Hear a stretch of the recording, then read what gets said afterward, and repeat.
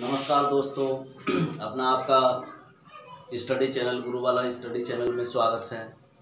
आज मैं मैं आपका दोस्त रिंकू कुमार गौतम आज मैं आपको लेकर के आया हूँ भारत का अफवाह तंत्र।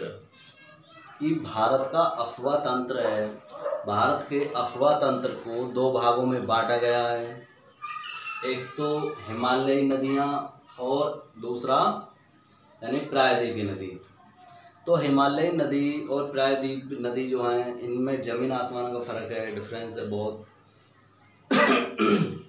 देखिए हिमालयी नदी जो होती हैं वो सदा नीरा होती हैं। जैसे कि आ, जो हमेशा बहती रहती हैं यानी पानी चलता रहता है ये कभी भी बंद नहीं होती हैं। और प्रायद्वीपीय नदियाँ जो होती हैं ये जो है ये सीज़न बार चलती हैं यानी जब इनका मौसम आता है जब बरसात का मौसम आता है तो जब ये चलती हैं और जब बा पानी बरसात का पानी ख़त्म हो जाता है तो ये बंद भी हो जाती हैं। बहुत ही कम कम चलती रहती हैं और बाजी बाजी नदी बहुत बहुत सारी नदियाँ बंद भी हो जाती हैं। तो इनमें यही है कि ये सदा नीरा होती हैं ये जो है आ, ये जो मौसमी होती हैं नदियाँ अब देखिए सदा नीरा नदियाँ सदा नीला जो हिमालय पर्वत है, उससे जो बहने वाली नदियाँ हैं, उनको तीन भागों में बांटा गया है। यानी तीन अफवाह तंत्र, जो बड़ी बड़ी नदियाँ हैं, उनको तीन भागों में बांट दिया गया है। नंबर एक, सिंधु नदी तंत्र। जो सिंधु नदी तंत्र है, ये जो हिमालय पर्वत से निकलती है, और हिमालय पर्वत से निकलने के बाद में ये पाकिस्तान होते हुए, पंजाब में अगर होते हुए, पाकिस्तान होते हुए, ये अरब सागर में जाकर के गिरती है। और इसकी जो लंबाई है, इस नदी की लंबाई है, अट्ठाईस सौ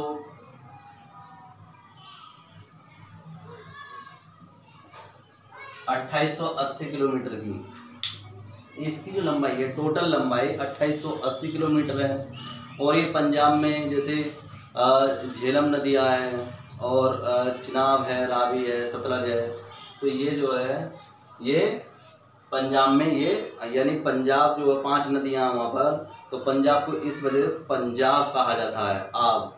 यानी दो आब जो होता है, दो नदियों के बीच का होता है, लेकिन वहाँ पाँच नदियाँ हैं तो उसको पंजाब कहा जाता है, इसी नाम से पंजाब, पाँच नदियों के नाम से पंजाब पड़ा है उसका नाम। अब देखिए, दूसरा जो आता है ये, दूसरा तंत्र है, गंगा नदी, ठीक है?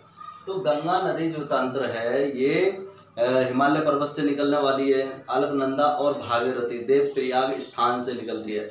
अलकनंदा और भागीरथी जो नदियाँ हैं, दोनों एक जगह मिलती हैं देव प्रयाग पर और फिर वहाँ से निकलती है ये नदियाँ गंगा बन के। तो इस नदी की जो लंबाई है, वो है लगभग 2500 किलोमीटर की।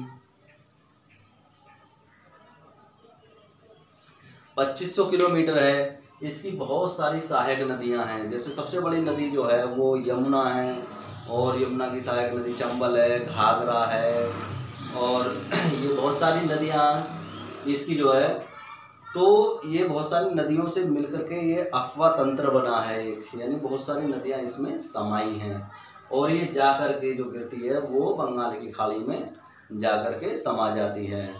ठीक है? अब ये नदी जो है, ये सदा नीरा है, यानी बहने वाली है सदा। इसको भारत की सबसे पवित्र नदी माना जाता है। अब देखिए दोस्तों, ये ब्रह्मपुत्र नदी ब्रह्मपुत्र नदी तंत्र। ये जो है, अरुणाचल प्रदेश से इसकी जो लंबाई मानी जाती है लगभग टोटल लंबाई, ये है उनतीस सौ किलोमीटर।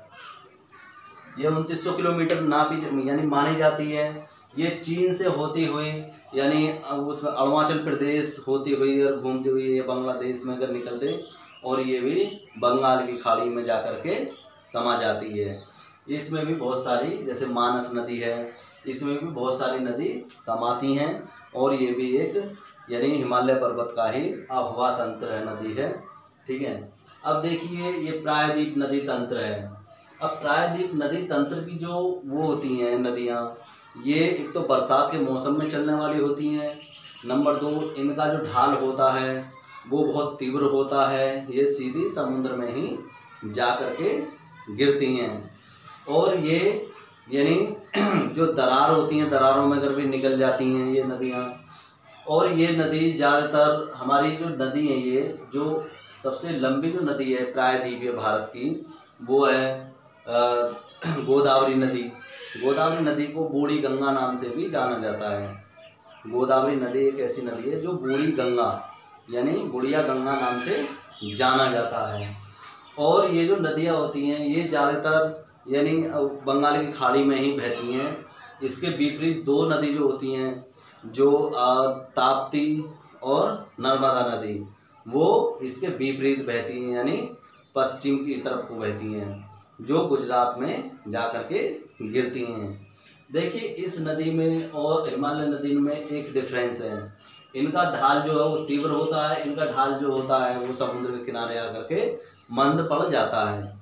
ये जो है एस्चुरी बनाती हैं एस्चुआरी एस्चुआरी आकृति बनाती हैं और ये डेल्टा आकृति बनाती हैं। यानी डेल्टा आकृति जो होती है वो त्रिभुजाकार की होती है, लेकिन एस्चुआरी जो है वो यानी डायरेक्टली उसमें जाकर के गिरता है, समुद्र में। तो वहाँ पर कोई आकृति नहीं बनाती हैं ये नदियाँ। ठीक है? अब ये नदी जो है, ये ये बरसाती नदी होती हैं, मौसमी नदी होती हैं, और ये सदा नीरा नदी होती हैं। तो दोस्तों, ये आपको मैंने जो नदियों के बारे में समझाया है, ये आपको समझ में आ गया होगा अच्छी तरीक़ा से।